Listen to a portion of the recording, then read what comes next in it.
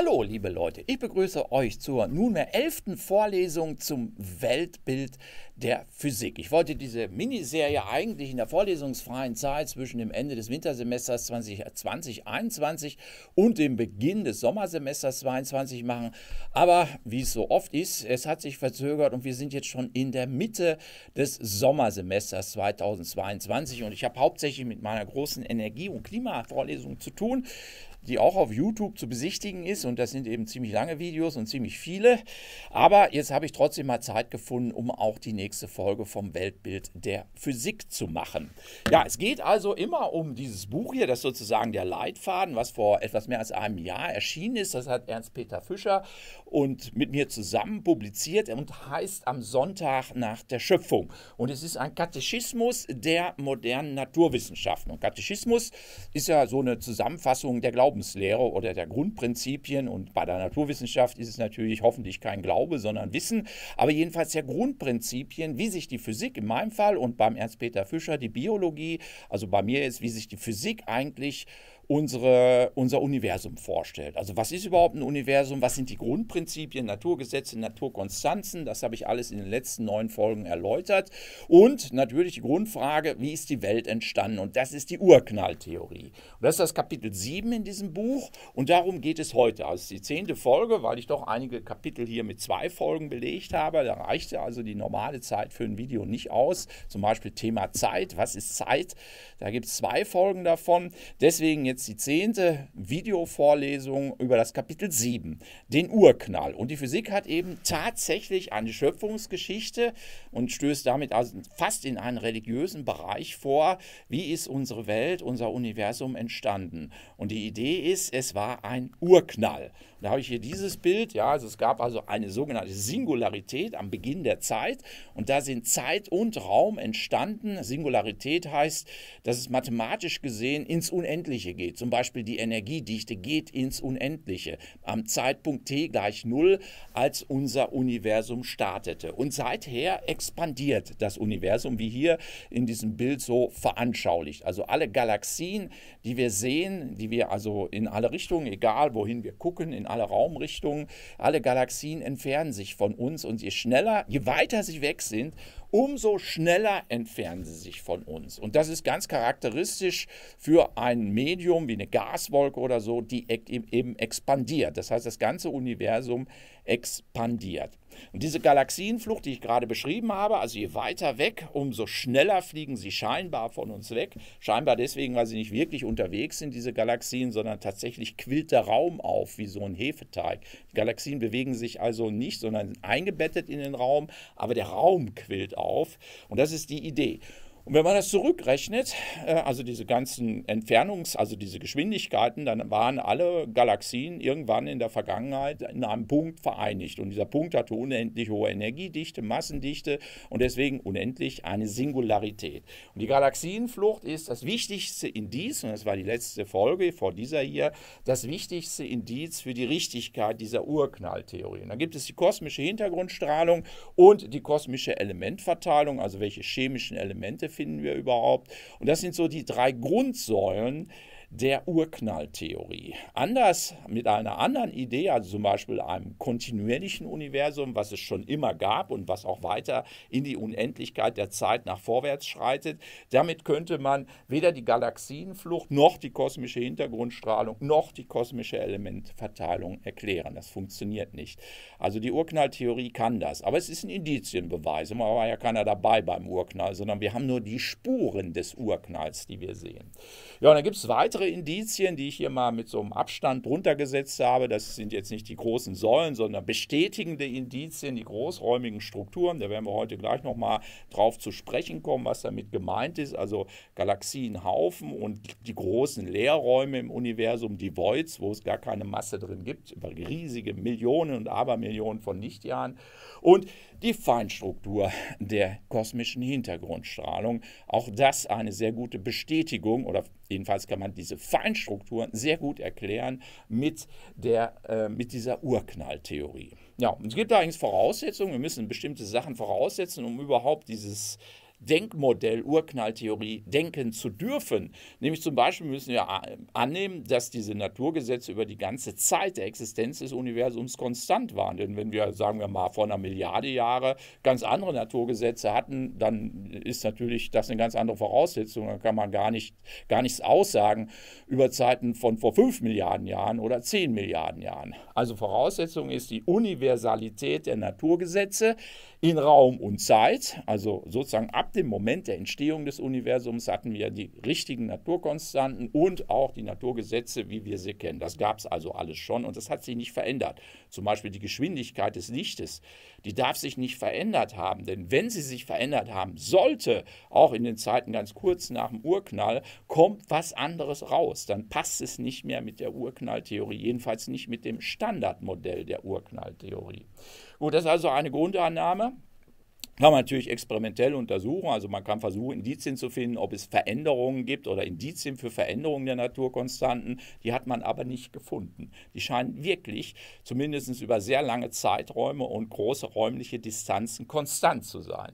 Und das kosmologische Prinzip, auch das werden wir heute, wo es also um Probleme der Urknalltheorie, müssen wir da nochmal drüber reden, diese erstaunliche Homogenität von Raum und Zeit. Homogenität von Raum und Zeit sieht überall im Universum gleich aus. Also es scheint jedenfalls so. Wir können uns also Milliarden von Lichtjahren weit bewegen, zumindest in unserem Kopf. In der Realität schaffen es zwar ja nur mit Mühe bis zum Mond. Ja.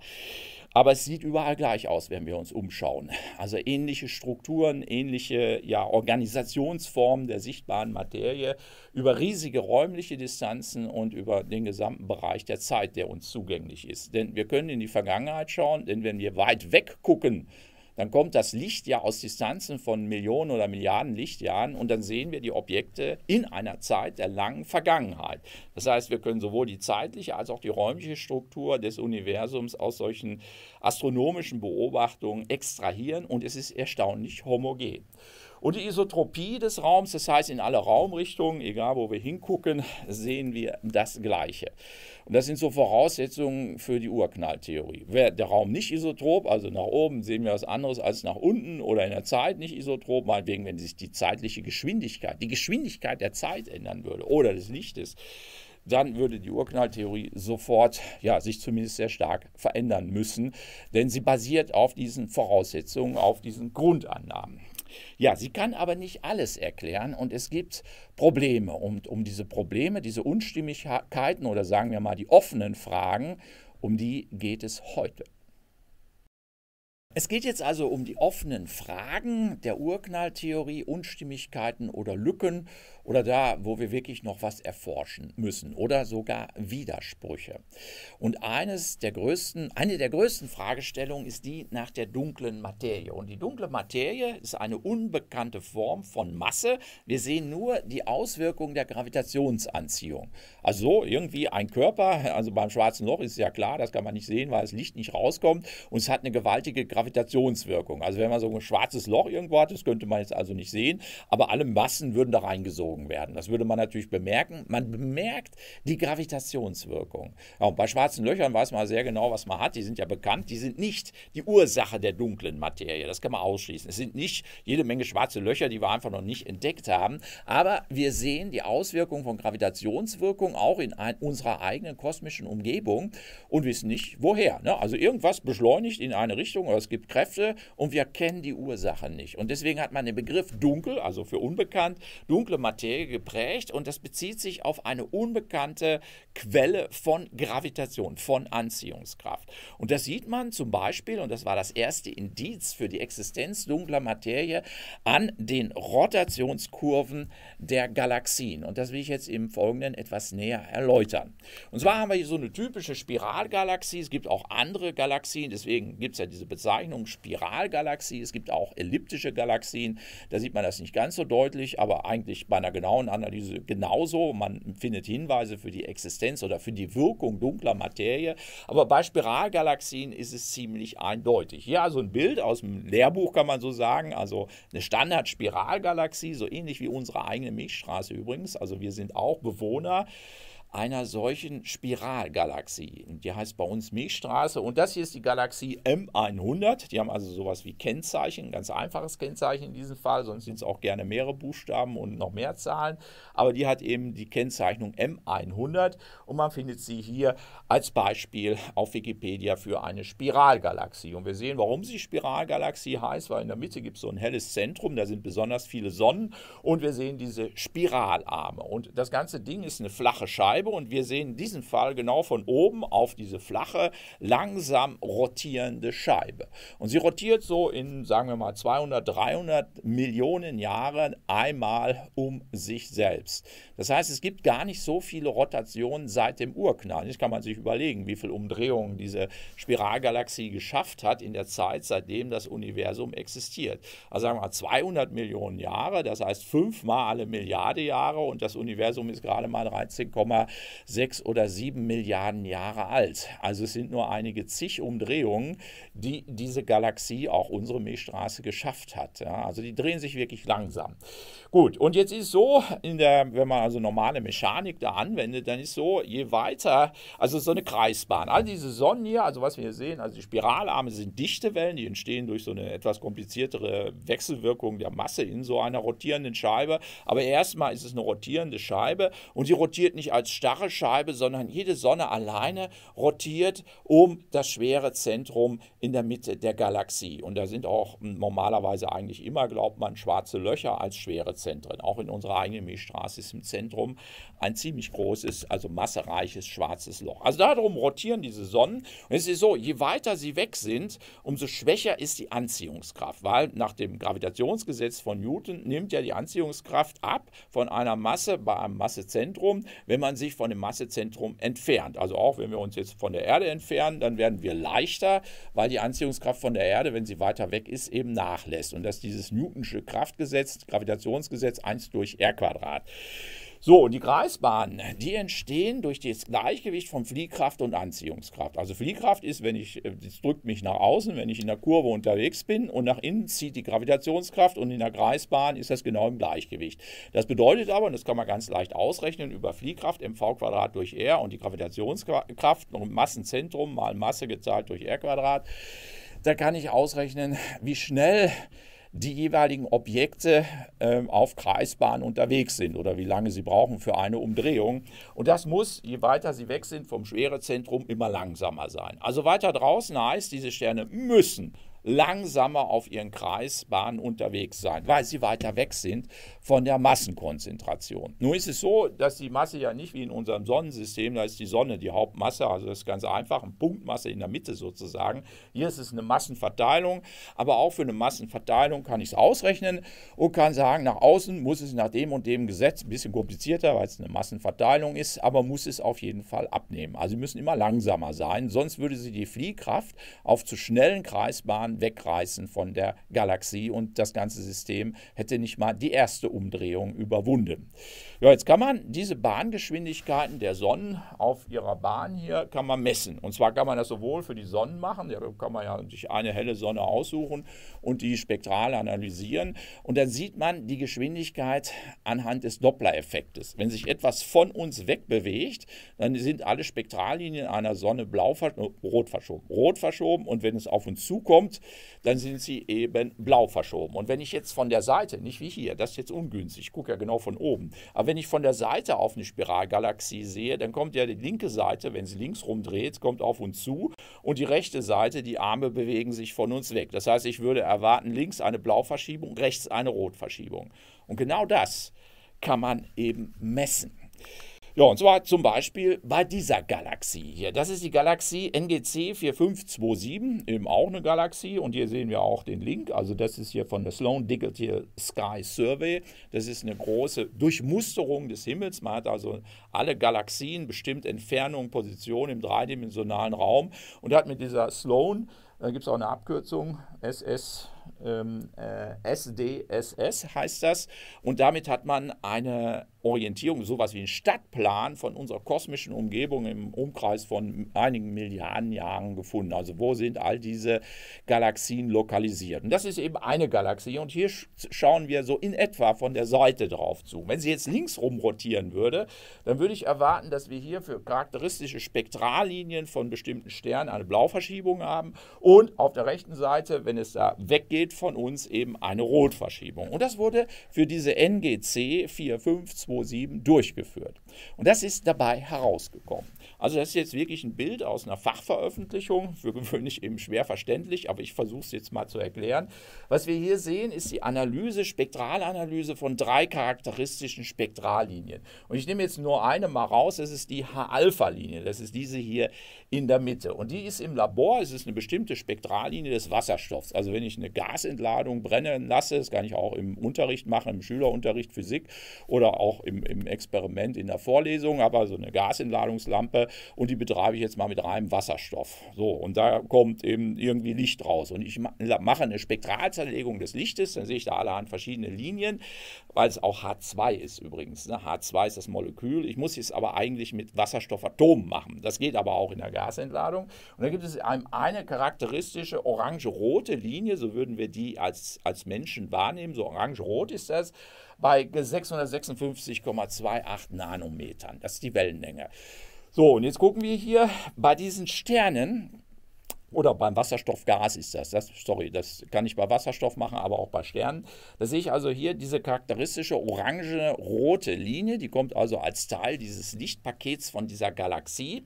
Und jetzt kann ich das mit einem Schlitz machen, dass ich, ich gehe nochmal zurück, dass ich also nur den linken Teil hier analysiere. Also ich kann hier mit so einem Schlitz drüber fahren. Das wurde da gemacht. Ne? Also man macht einen Schlitz und kriegt jetzt nur Licht vom linken Ende, nur Licht von der Mitte und Licht von rechts. Also ich fahre da mit so einem Schlitz, der genau senkrecht ist zur Rotationsachse dieser Galaxie drüber und gucke mir die H-Alpha-Linie an. Ja, okay. Und die sollte jetzt eigentlich in der Mitte, also wenn sie, wenn nichts ist, dann sollte die äh, eben ohne, ohne Doppler-Effekt, es bewegt sich nicht bei 656 Nanometern liegen.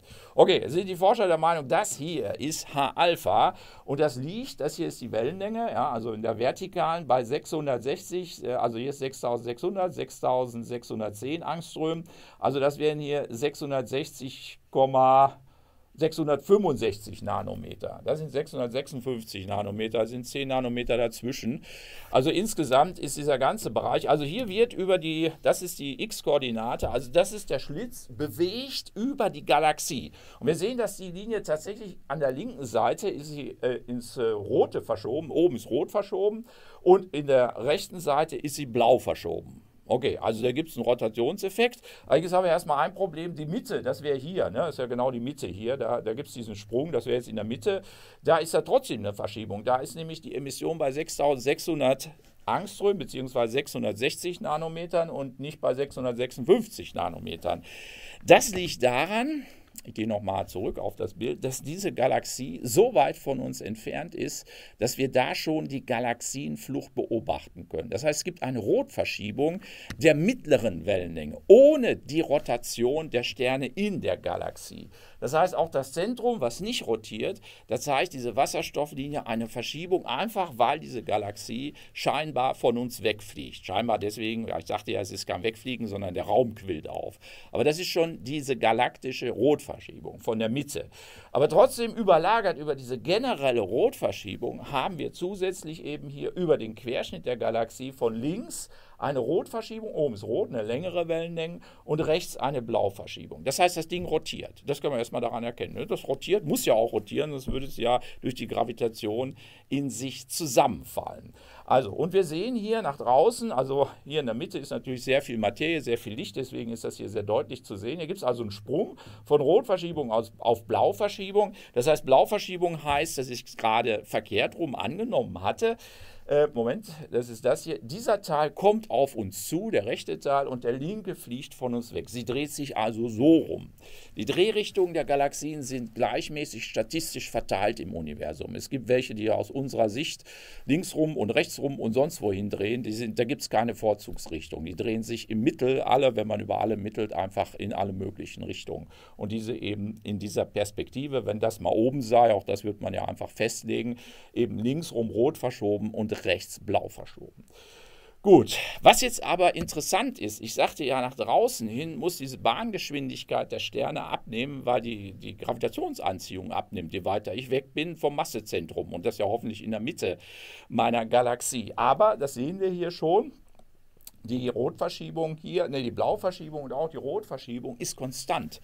Die nimmt nicht ab. Und das ist eben sehr, sehr rätselhaft. Und die Lösung ist die Annahme, dass die tatsächliche Massenverteilung, ich gehe nochmal zurück auf das Bild hier, die tatsächliche Massenverteilung ist ungleich viel größer. Wir sehen hier nur einen kleinen Teil, so die Interpretation dieser Konstanz der Bahngeschwindigkeit. Also Rotverschiebung, Blauverschiebung bleiben einfach konstant. Ja, das ganze Ding ist in einem Halo von dunkler Materie, die weiter draußen in der Anziehungskraft absolut dominiert. Sie bewirkt, dass da kein Massenzentrum in der Mitte ist, von dem ich mich entferne, sondern da ist überall Masse und dann ist die Anziehungskraft tatsächlich konstant und die Bahngeschwindigkeit ebenfalls. Also, das Messergebnis ist auch für andere Linien hier, die weiter bei, im roten oder im blauen sind, aber dass die H-Alpha-Linie hier ist eine Konstanz. Also das Entscheidende ist, dass hier diese Messung eine konstante Rotverschiebung, äh, Blauverschiebung und eine konstante Rotverschiebung ergibt. Ja, und das gibt es auch für andere Galaxien. Das hier ist die Galaxie M, also M steht für Messier, das ist so ein Sternkatalog 33. Hier sehen wir es nochmal. Da kann man im Innenbereich bei 10.000 Lichtjahren ist das hier 20.000 Lichtjahre, 30.000 Lichtjahre. Also hier wäre eigentlich der sichtbare Bereich der Galaxie zu Ende. Im sichtbaren Bereich kann ich mir die Sterne anschauen und sehe hier Bahngeschwindigkeiten. Da wird also die Rot- und Blauverschiebung sofort in eine Bahngeschwindigkeit umgerechnet. Das ist eine Auswertung. Sehe ich, dass die Bahngeschwindigkeit erstmal zunimmt. Und das würde man auch erwarten, weil wenn ich eine Massenverteilung habe in so einem, na, sagen wir mal, kleinen Kugel und ich bin innerhalb der Kugel, dann ist die Gravitationskraft geringer, weil ich ja so, sowohl weiter draußen als auch weiter drinnen Anziehungskraft habe. Ja, das heißt, ich würde erwarten, dass die Bahngeschwindigkeit zunimmt. Das ist die gestrichelte Kurve. Es ist die von simpler Mechanik zu erwartenden, mit einer bestimmten Massenverteilung angenommen. Und weiter draußen nimmt sie eben dann ab. Das ist die gestrichelte Kurve. Das ist die Expected from the Visible Disk, also von der sichtbaren Materieverteilung der Sterne und des Gases, erwartete Abnahme der Bahngeschwindigkeit weiter draußen mit abnehmender Gravitationsanziehung. Gravitationsgesetz von Newton. Tatsächlich sehen wir, dass hier sogar die Bahngeschwindigkeit weiter draußen zunimmt. Und das ist für den Bereich, wo es keine Sterne mehr gibt, weiter draußen. Da gibt es nur noch dieses äh, Wasserstoffgas. Da ist die 21 Zentimeter Linie vom normalen Wasserstoffatom. Die kann ich auch beobachten und sehen, dass die Wasserstoffwolken weiter draußen auch immer noch höhere Bahngeschwindigkeiten haben in ihrer Umdrehung oder Umkreisung des galaktischen Zentrums bei dieser M33-Galaxie. Hier ist übrigens das Bild von dieser Galaxie. Da sieht man diese roten Wasserstoffwolken da. Gut, hier also sogar eine Zunahme, je weiter draußen ich bin, zumindest bis zur Distanz von 40.000, 50.000 Lichtjahren weit draußen vom galaktischen Zentrum. Und jetzt gibt es so Übersichtsveröffentlichungen ja, von Leuten, die haben ganz viele solche Rotationskurven aufgenommen von diesen Galaxi äh, Galaxien. Und eine Veröffentlichung von 2015 hier von SoFew at all. Kann man also nachgucken. Hier All Rotational Curves in One Panel. Also es ist ein Bild aus dieser Publikation. Hier ist der Link, Akademik und so weiter. Das kann jeder downloaden. Ist eine freie Fachpublikation. Und dieses Bild hier zeigt also alle Rotationskurven. Es gibt viele Bilder in der Publikation. Das ist sozusagen das Übersichtsbild.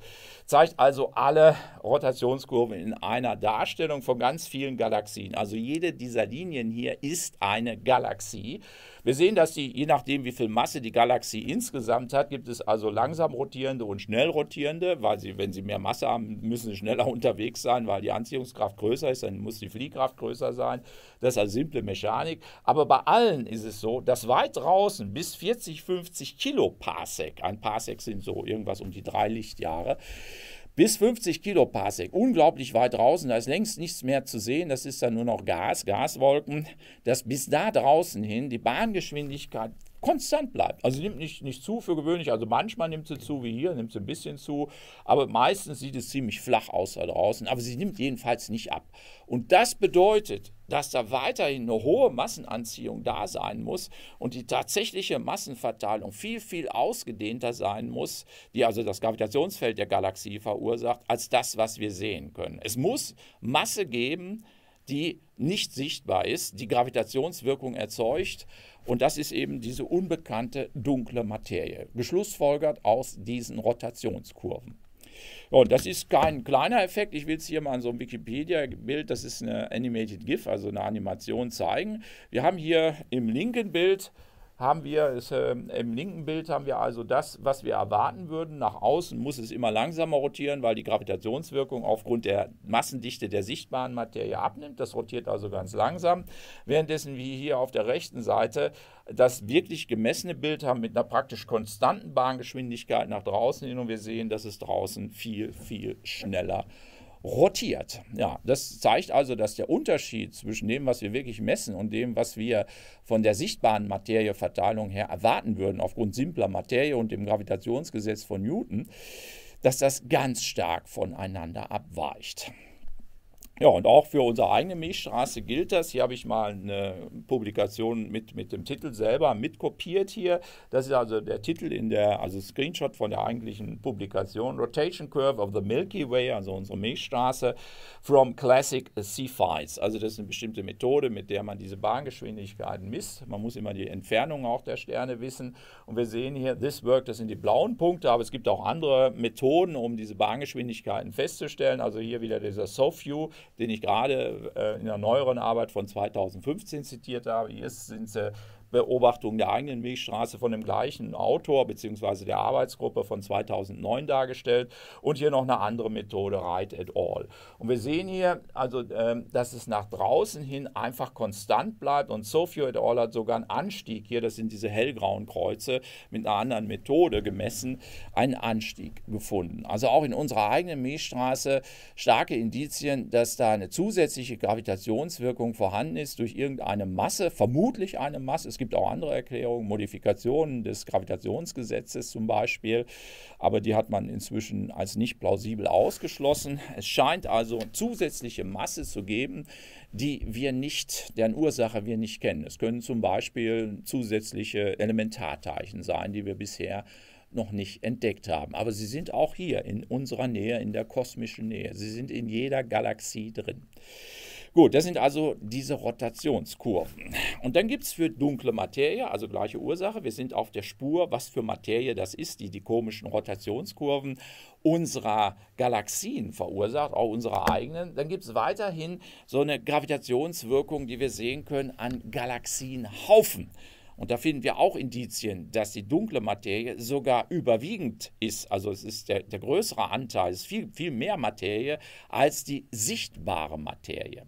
Dunkle Materie ist auch sichtbar an der Gravitationswirkung, die Galaxienhaufen zusammenhält. Und das kann man wirklich genau analysieren und sieht da wiederum, dass es viel mehr, sogar, dass es viel mehr dunkle Materie geben muss, ungefähr fünf bis sechs Mal so viel als sichtbare Materie. Und wie das geht, will ich jetzt näher erklären. Also Thema Galaxienhaufen und dunkle Materie.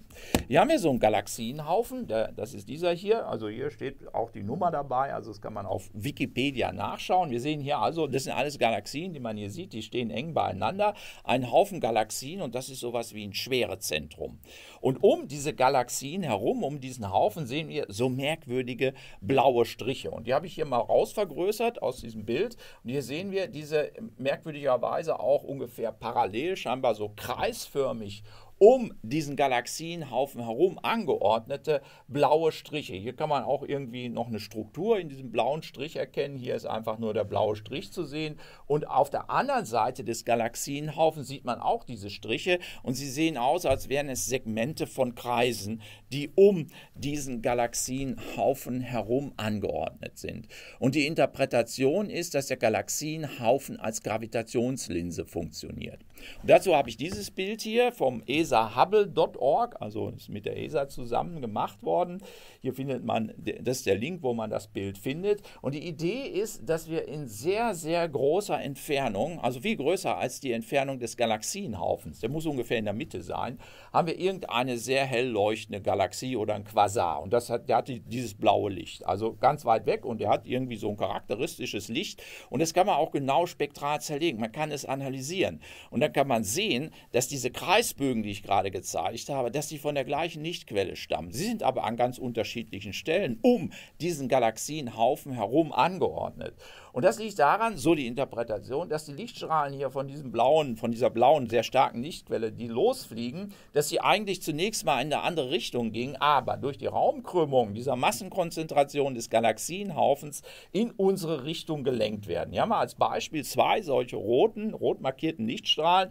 Der eine geht hier rechts vorbei, der andere links vorbei am Galaxienhaufen und würde eigentlich nicht zu uns kommen. Aber durch die Raumkrümmung, das ist hier durch dieses unterlegte Gitter angedeutet, durch die Raumkrümmung, die der Galaxienhaufen mit seiner Masse verursacht, kommen diese Lichtstrahlen dann doch zu uns. Und was wir dann sehen, das sind eben solche, ja, wie durch so eine starke fokussierende Linse, sind dann also nicht vernünftig abgebildet, sondern sind solche ringförmigen oder Teilsegmente vom Ring verzerrten Bilder dieser primären hellen Galaxie hinter dem Galaxienhaufen. Das nennt man eine Gravitationslinse. Und natürlich können wir jetzt an der Krümmung ausrechnen, wie groß die Masse sein muss des Galaxienhaufens. Und da kommt raus, damit diese Krümmung hier, damit das hinkommt mit der Gravitationslinse, muss die Massenkonzentration im Galaxienhaufen viel größer sein, um ein Vielfaches, als die tatsächlich sichtbare Masse aller Galaxien, also das kann man ja ausrechnen, also abschätzen, in diesem Haufen.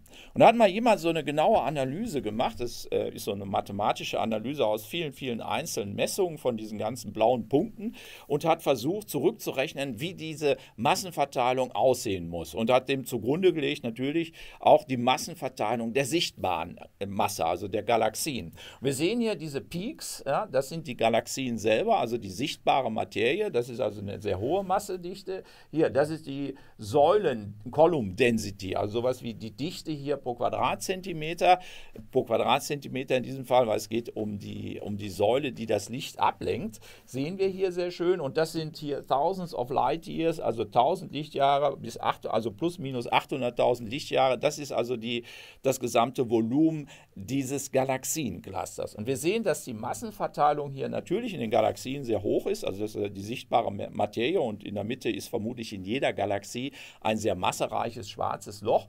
Aber was wir auch sehen, ist dieser Halo hier. Um jede einzelne Galaxie, auch wenn sie weiter draußen ist, ist hier, also hier sieht man es auch, ist weit draußen noch eine geringere Dichte, aber dafür enorm ausgedehnt. Und das ist ja dreidimensional, es geht um Volumina. Das heißt, selbst wenn es hier ein geringer Wert ist von Massendichte, dadurch, dass es ein dreidimensionales Volumen ist mit viel größerem Radius, ist das eine gewaltige Gesamtmasse, die sich auch hier im Zentrum des Galaxienhaufens sogar überlagert zu so einer riesigen Masse, die den ganzen Bereich im Innern des Galaxienhaufens ausfüllt. Zwischen diesen Galaxien, die eigentlich für uns so aussehen, als wären sie sauber getrennt, aber durch die dunkle Materie, und das ist die dunkle Materie, diese breit verteilten Füße in den Peaks der Massen, also in dem Maxima der Massenverteilung der sichtbaren Materie drumherum, sind diese Halos.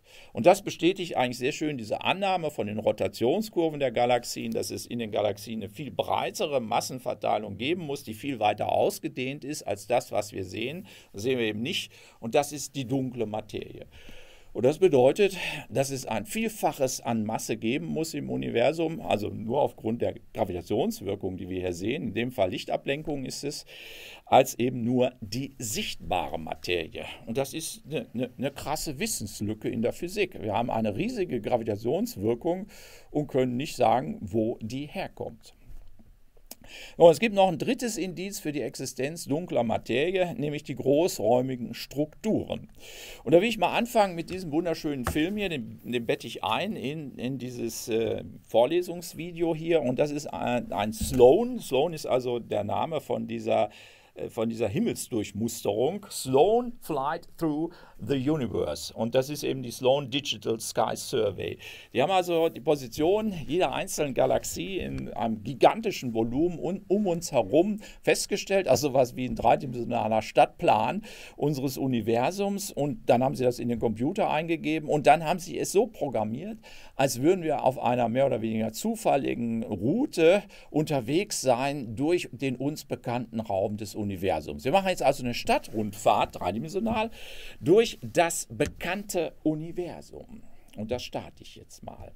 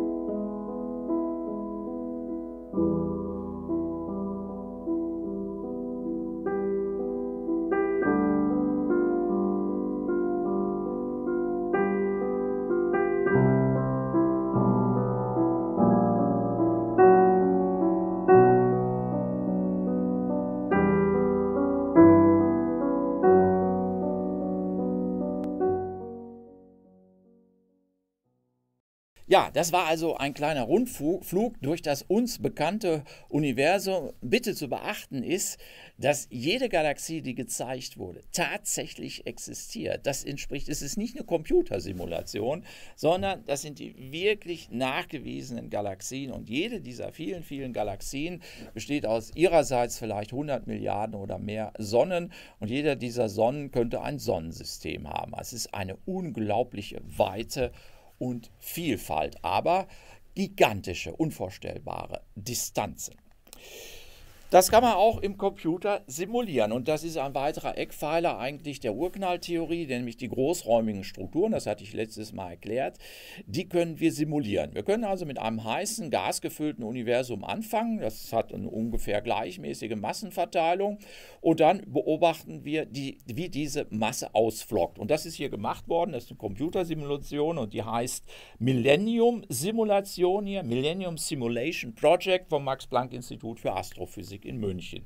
Das hier ist dann schon das Ergebnis der Simulation. Wir sehen, die Masse ist nicht mehr gleichmäßig verteilt, sondern hat sich also kondensiert in solchen Fäden, the Threads. Und dann gibt es diese Leerräume dazwischen, die Voids. Und es gibt diese Galaxienhaufen, so Cluster, wo ganz viele Galaxien vereinigt sind. Aber was hier so rosa, rot und violett markiert ist, das sind gar nicht die Galaxien, sondern diese Simulation musste mit dunkler Materie rechnen, weil sonst funktioniert es nicht. Ohne die zusätzliche Gravitationswirkung, die um ein Vielfaches stärker ist als die der sichtbaren Materie, ohne die Gravitationswirkung der dunklen Materie kommen wir mit den Zeiten, die wir zur Verfügung haben, also 13 Milliarden Jahre, kommen wir nicht hin. Da klappt es nicht. Das Ausflocken in diesen, in diesen Strukturen hier, das wäre zu lang, langsam. Wir brauchen also für die Ausbildung der großräumigen Strukturen, wie wir sie bei der Sloan Digital Sky Survey gesehen haben, gerade bei unserem Rundflug, wenn wir die wirklich äh, simulieren wollen, also verstehen wollen, dann brauchen wir zusätzliche Gravitationswirkung durch die dunkle Materie. Das ist also ein dritter Hinweis darauf, dass die dunkle Materie äh, wesentlich, eine wesentlich stärkere Rolle spiel, spielt bei der Ausbildung der Strukturen im Universum wie Galaxien und eben dieser großräumigen Galaxienanordnung hier als die sichtbare Materie. Und jetzt will ich ein weiteres Video zeigen, nämlich die Simulation. Das ist das Millennium Simulation Project, wo sie im Rechner mit einem Haufen Massenpunkten simuliert haben, wie es zur Ausbildung von diesen Voids, den großen Leerräumen und eben diesen fadenartigen Strukturen und den Knoten gekommen ist. Und das ist hier diese Simulation und hier wird angezeigt, T in Gigajahren, GJR, das sind Gigajahre und bei Null ist der Urknall. Und da war das Universum einfach eben äh, mit heißem Gas ausgefüllt, so wie das Startbild hier. Und das läuft dann langsam hoch, wobei hier das fängt an bei 0,05 Gigajahren, also 50 Millionen Jahre nach dem Urknall. Und das ist der Z-Wert, der dazugehört, das ist die Rotverschiebung, also wenn wir bei, bis Z gleich 48 schauen, dann würden wir also gar keine Galaxien mehr sehen, sondern, wie wir hier sehen, nur einen Nebel von Gas, einen heißen Nebel von Gas, der allerdings schon solche ähm, ja, wärmere und kältere oder der Farbcode ist einfach die Materiedichte, dichtere und weniger dichte Bereiche zeigte. Und bei der Gravitation ist es so, wenn man erstmal, so ähnlich wie beim Geld, wenn einer viel Geld hat, dann wird es noch mehr Geld, weil es anlegen kann. Bei der Masse ist es auch so, wo mal mehr Masse ist, da haben wir ein Massezentrum, was natürlich anziehend wirkt und das zieht dann noch mehr Masse in sich hinein. Das heißt, wenn etwas wie so ein Galaxienhaufen schon mal einen Haufen Masse hat, dann zieht er aus der Umgebung noch mehr Masse in sich herein. Und das ist zum Beispiel der Grund, weshalb wir diese riesigen Leerräume haben. Da wurde die Masse einfach durch umliegende Massenzentren im Laufe der Jahrmilliarden leer gesogen. Und hier unten haben wir dann noch sowas wie einen Längen, Längenparameter, der wird dann immer länger im Laufe der Zeit, weil sich das Universum ausdehnt. Und jetzt will ich mal diese Simulation starten, die geht ein bisschen länger und sie zeigt, wie sich unser Universum bis zum heutigen Tag aus einer gleichmäßigen Gasverteilung hin zu diesen charakteristischen großräumigen Strukturen entwickelt hat. Wir sehen ja aber nicht einzelne Galaxien, also allenfalls in einigen Details, sondern die Verdichtung der dunklen Materie.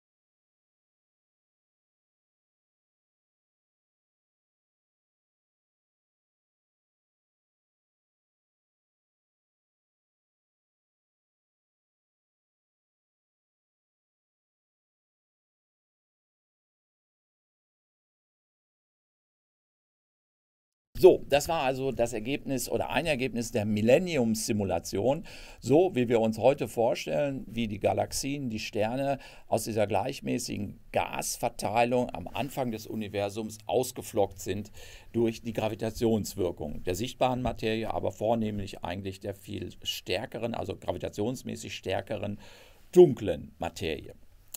Gut, das waren also ähm, die drei Indizien für die Existenz dunkler Materie. Und sie macht, hier ist es mal genannt, 23 Prozent nach heutigem Wissen, 23 Prozent der Substanz des Universums aus. Und dann gibt es eine zweite dunkle Sache in der Physik und das ist die dunkle Energie. Und diese dunkle Energie, die macht sogar laut Theorie, laut Kosmologie 72 Prozent der Substanz des Universums aus. Und das hat eine interessante Konsequenz, wenn man das hier addiert. 20 plus 70 gibt 90 und dann haben wir nochmal 5, also 95 Prozent der Substanz des Universums. Also mit Substanz meine ich jetzt die Summe aus Energie plus Materie, weil Energie und Materie sind ja wesensgleich laut Einstein. 75 Prozent der Substanz des Universums das die Urknalltheorie beschreibt, sind uns unbekannt. Denn diese Energieform, um die es jetzt gleich geht, die dunkle Energie, die ist genauso wenig bekannt in ihrer Ursache wie die dunkle Materie. Also nur 5% der Substanz des Universums können wir erklären. Und das würde ich dann schon als eine wirklich gravierende, offene Frage der Urknalltheorie bezeichnen. Denn wenn man eine Theorie hat, die 95 Prozent der Substanz eines Objektes, also in diesem Fall unseres ganzen Universums, nicht erklären kann, dann ist das schon wirklich eine offene und drängende Frage. Und das Hauptindiz dafür, dass es dunkle Energie geben muss, also 72 Prozent der Substanz des Universums. Das ist die beschleunigte Expansion des Universums. Bisher ist die Urknalltheorie, also bis, bis zur Entdeckung dieser beschleunigten Expansion, war man der Meinung, dass sich natürlich die Beschleunigung, äh, die Expansion abschwächt, weil sich nämlich alle Galaxien gegenseitig anziehen. Also wir haben den Urknall, da flog alles auseinander und dann fingen diese Galaxien an, die haben sich dann gebildet, das sind Massezentren und zwei Massezentren ziehen sich natürlich an. Alle Massezentren ziehen sich gegenseitig gegenseitig an. Das heißt, die Expansionsgeschwindigkeit müsste durch diese gegenseitige Gravitationsanziehung langsam immer mehr abgebremst werden und schließlich vielleicht sogar zum Stillstand kommen. Und dann wäre die nächste Frage, ob es dann wieder so ein Zusammenschrumpeln des Universums gibt und dann eine Wiederholung des Urknalls. Ja, heute ist klar, dass die Expansion des Universums sogar beschleunigt. Es wird immer schneller. Und dafür muss es einen Antrieb geben, denn wenn ich mit dem Auto beschleunige, muss ich ja Gas geben. Also es muss irgendwie eine Energiequelle geben für diese beschleunigte Expansion.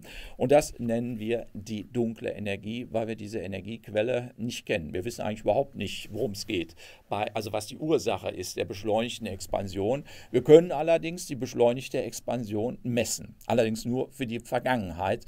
Also wir können in die Vergangenheit schauen, indem wir uns Galaxien anschauen, die so und so viele Milliarden Jahre entfernt sind.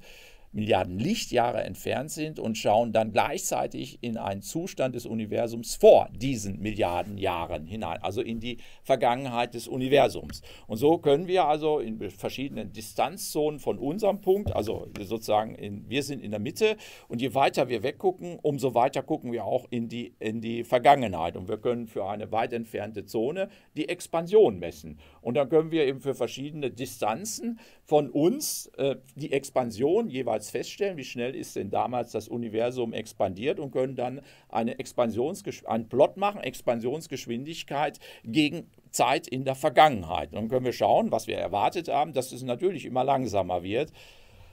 Aber in den letzten paar Milliarden Jahren ist es immer schneller geworden. Das sehen wir durch diese Analyse der Bewegung von entfernten Galaxien. Allerdings ist es dazu notwendig, dass wir Galaxien, dass wir die Entfernung von Galaxien unabhängig vom Z-Parameter, also von der Rotverschiebung, messen können. Wir müssen also die Rotverschiebung, das ist ja sozusagen die Expansionsgeschwindigkeit des Universums, messen und wir müssen unabhängig davon irgendwie rauskriegen, wie weit sind eigentlich diese Galaxien entfernt. Und das ist schwierig. Eine Galaxie, die Millionen oder Milliarden Lichtjahre entfernt ist, wie messe ich denn diese Entfernung? Und das wird gemacht mit sogenannten Standardkerzen. Und eine Standardkerze ist ein ganz bestimmter Typ von Supernovae, also explodierenden Sternen. Wir haben hier so ein Beispiel für eine Galaxie, das, die wurde eben genau vermessen in der SDSS, Sloan Digital Sky Service, äh, Survey, also genau diese Himmelsdurchmusterung. Und da gab es diese, diese Supernova noch nicht. Das ist also aus der Zeit vor der Supernova-Explosion. Und dann hat das ähm, Teleskop in Palomar nochmal die gleiche Galaxie aufgenommen. Ist ein bisschen anderes von der Technik her beim Teleskop. Deswegen sieht die Galaxie, ist aber die gleiche Galaxie, ein bisschen anders aus. Aber hier ist auf einmal ein ganz heller Lichtpunkt. Das ist ein kollabierter Stern, der wurde zu einem Neutronenstern. Also es fängt an mit so einem roten Riesen, der kollabiert dann im Innern zu einem Neutronenstern oder zu einem schwarzen Loch und dabei wird für einige Zeit extrem viel Energie frei. So eine Supernova vom Typ 1a beispielsweise, die leuchtet vielleicht für ein Jahr so hell wie die ganze Galaxie. So, und da, wenn es ein bestimmter Typ von Supernova ist, und das kann ich ermessen, was für ein Typ es ist an der Spektralzerlegung, also was sehe ich da für chemische Elemente in, dieser, in diesem Licht, das kann ich analysieren, und auch in der Leuchtkurve. Also die Leuchtkurve steigt an und fällt wieder ab, und daran kann ich erkennen, was es für ein Typ Supernova ist. Und ein bestimmter Typus von Supernovae, so glaubt man, die sind immer gleich hell weil sie auf dieselbe Art und Weise entstehen. Die sind also nicht davon abhängig, was ich vorher für einen Stern hatte, sondern es äh, ist vollkommen egal. Es gibt immer den gleich hellen Lichtblitz. So, wenn ich die Helligkeit weiß, dann kann ich ja aus der subjektiven Helligkeit, also wie hell er uns erscheint, ermessen, wie weit diese Supernova entfernt ist. Das nennt man Standardkerze. Standardkerze heißt, Kerze, Lichtquelle, es ist immer gleich hell. Wir wissen also, wie hell es ist, einfach weil wir erkennen, es ist eine Supernova Typ 1a, da wissen wir, das ist die Helligkeit. Dann können wir messen, wie hell ist es denn von uns aus gesehen und die Helligkeit nimmt ja mit wachsender Distanz ab, 1 durch R Quadrat Abhängigkeit und dann kann ich aus der Standardkerzenhelligkeit, die ich als bekannt voraussetze, also das hat diese Helligkeit am Quellort und der gemessenen Helligkeit kann ich eben direkt über die die 1 durch r Quadrat Abhängigkeit r, also die Distanz ausrechnen. So kann ich die Distanz dieser Galaxie feststellen. Voraussetzung ist, dass die Supernova tatsächlich zu dieser Galaxie gehört, aber auch das lässt sich dann noch rausfinden. Also die, diese Supernova gehört mit zum Verband, obwohl sie ein bisschen weit draußen ist in dem Fall, mit zu dem Verband von dieser Galaxie. Gut, so kann ich also die Distanz der, der Galaxie rausfinden und ich kann unabhängig davon den Z-Wert all dieser anderen der ganzen Sterne feststellen. Und wenn ich mir mehrere Dinge angucke, dann kann ich feststellen, wie, wie, wie stark expandierte denn damals das Universum im Vergleich zu heute. Das wären dann Galaxien, die näher dran sind, oder im Vergleich zu noch tieferen Zeiten in der Vergangenheit für Galaxien, die weiter weg sind. Und das haben hier diese Leute gemacht. Die haben ja also haben Forscher gemacht. Zwei unabhängige Forschergruppen sind zu dem Ergebnis gekommen. Hier sind sie, hier sind diese, sind sogar drei Forschungsprojekte, die hier aufgezeichnet sind.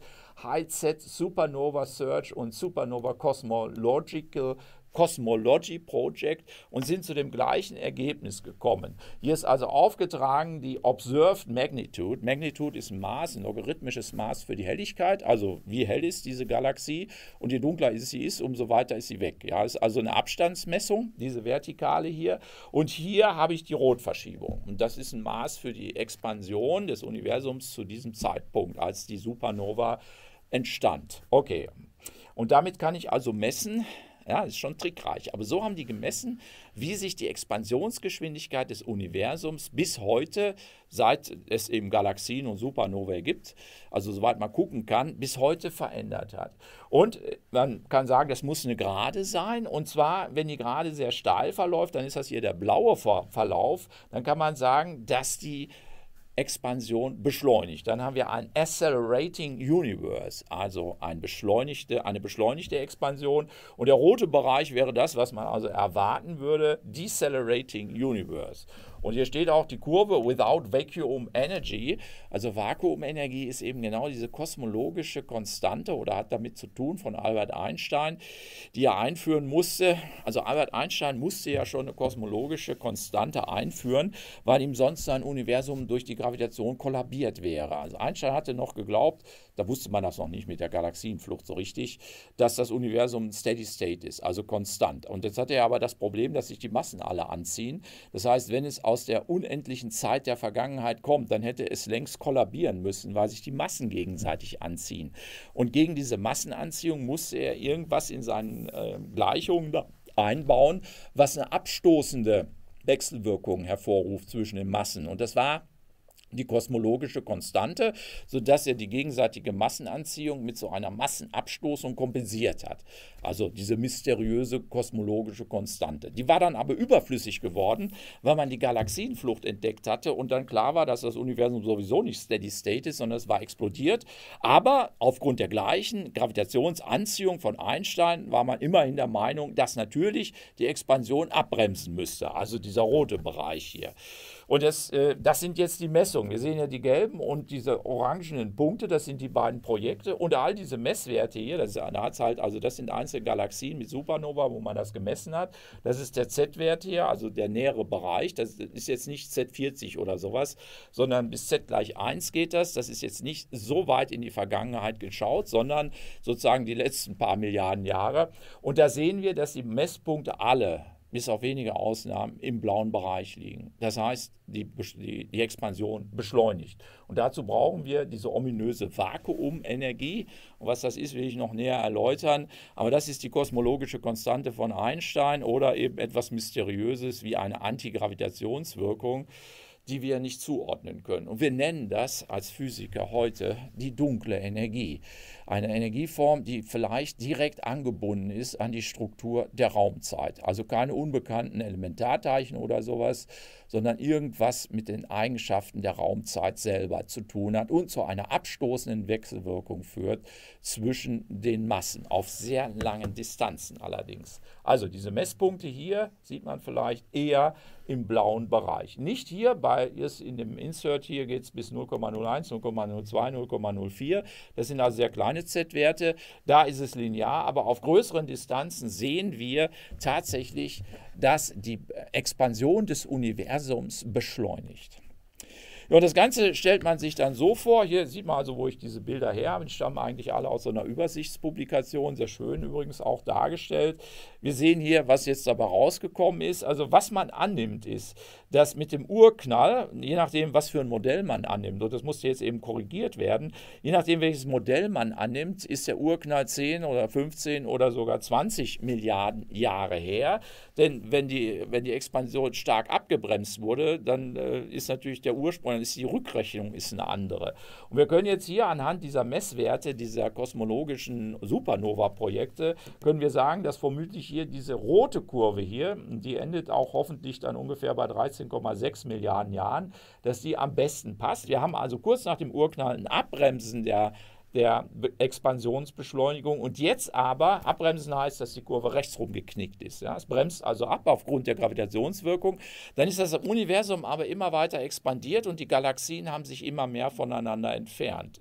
Oder die Galaxienhaufen. Mit wachsender Distanz wird dann diese Massenanziehung der Galaxienhaufen untereinander geringer, immer geringer und geringer. Und dann scheint es noch so etwas zu geben wie eine grundsätzliche abstoßende Wechselwirkung, die bei sehr geringen Massendichten oder einer großen schon stattgefundenen Expansion überwiegt. Also sie war vorher schon da, nur war sie viel schwächer als die Massenanziehung der dichter gepackten Galaxien. Da hat, als, als alles dichter gepackt war, das Universum also gebremst und dann ist die Massenanziehung so schwach geworden wegen der großen Distanzen, Expansion des Universums, dass diese Massenabstoßung durch die dunkle Energie Eigenschaft des Vakuums überwiegt und dann beschleunigt es. Das heißt, wir landen hier womöglich auf der dunkelgrünen Kurve mit einer leichten Beschleunigung sogar in einer ewigen Eternal Expansion. So sieht es jedenfalls nach diesen Analysen der Supernova-Galaxien-Projekte, zwei Projekte, so sieht es aus. Es gibt also eine dunkle Energie, die die Expansion beschleunigt, nachdem die Massendichte so weit abgeklungen ist, dass die gegenseitige Massenanziehung keine Rolle mehr spielt. Und das deutet darauf hin, dass die Substanz der Raumzeit noch irgendwas enthält, äh, eine Energieform, die wir überhaupt nicht kennen. Und sie macht sogar mehr als 70 Prozent der Masse der Substanz des Universums aus. Ja, hier haben wir nochmal diese Kuchendiagramme und das hat sich eben deutlich verändert im Laufe der Zeit. Wir haben hier links oben den heutigen Zustand, Today. Da haben wir Atome, das sind 4,6 Prozent. Also das variierte man so ein bisschen mit den neuesten Erkenntnissen, aber typischerweise sind es ungefähr 5 Prozent. Dann haben wir hier dunkle Materie, 23 Prozent und hier dunkle Energie mit 72 Prozent. Also der Großteil ist dunkle Energie und dann der weitere sehr große Teil, also fast fünfmal so viel wie die sichtbare Materie da haben wir dunkle Materie. Was hier noch fehlt, da, da fehlen noch 5%, das sind nur Atome, da gibt es noch Neutrinos und sowas alles, damit es dann insgesamt 100% werden. Und hier haben wir es zu Beginn, also 13,7 Billionen Milliarden Jahre vor heute, da spielten dunkle Energie und äh, ja, dunkle Energie keine Rolle, weil das eben eine Eigenschaft ist, wo man offenbar, das merkt man erst, wenn man sehr viel Raum hat, so ist die Interpretation. In diesem dicht gepackten Universum, da war der Hauptteil dunkle Materie 63% also das Grüne, und und dann gab es eben 12% Atome, 15% Photonen und dann eben 10% diese Neutrinos. Also so hat sich nach der gängigen Kosmologie die Zusammensetzung des Universums verändert. Und mit wachsender Expansion ist diese vermutete Eigenschaft der Raumzeit selber, also der leere Raum, die dunkle Energie, ist hinzugekommen. Wir haben es also bei der Urknalltheorie mit einer Theorie zu tun, dass das Objekt, mit der sie sich befasst, nur in geringfügigen Komponenten, nämlich 5% sichtbarer Materie, erklären kann. 95% kann die Urknalltheorie nicht erklären. Das wären also die dunkle Materie mit 23% und die dunkle Energie mit 72%. Prozent. Ja, gibt es dann Ansätze, dass dunkle Materie vielleicht unbekannte Elementarteilchen sind und dass die dunkle Energie was mit der Raumzeitstruktur selber zu tun hat. Und ein Ansatz, den wir tatsächlich auch selber im Labor untersuchen können, das ist der Casimir-Effekt. Und wie der Casimir-Effekt geht, der hat was mit so einer abstoßenden Wechselwirkung, mit einem Druck des leeren Vakuums zu tun. Wie das funktioniert, das will ich das nächste Mal näher erklären. Also da ein Versuch, die dunkle Energie vielleicht sogar bei uns hier auf der Erde im Labor zu untersuchen. Und darüber hinaus gibt es neben der dunklen Energie und der dunklen Materie noch weitere offene Fragen. Und auch darüber will ich nächstes Mal dann mehr berichten. Das ist diese Inflationsphase, die wir annehmen müssen. Kurz nach dem Urknall muss das geschehen sein. Da ist das Universum mit Überlichtgeschwindigkeit expandiert. Und nur die Annahme, dass es eine solche Phase gegeben hat der Expansion, löst das Horizontproblem und das sogenannte Flachheitsproblem. Problem. Und dann gibt es noch weitere Probleme, noch mehr als hier überhaupt aufgelistet sind. Aber ein prominentes Problem ist die fehlende Antimaterie. Es muss eigentlich genauso viel Materie wie Antimaterie im Universum geben. Ja, und dann gibt es noch das eine ganz große Problem, nämlich wie kam es denn überhaupt zum Urknall? Aber darüber das nächste Mal mehr. Vielen Dank für heute und bis zum nächsten Mal.